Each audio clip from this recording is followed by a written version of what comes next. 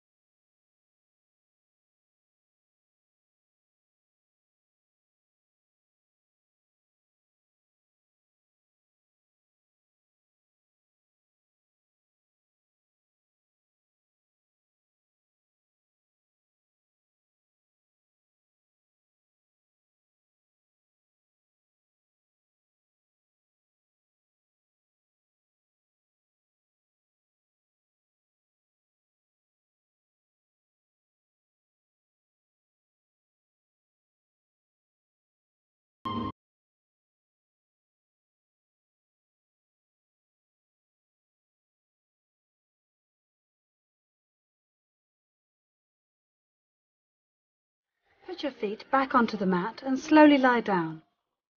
Breathe deeply.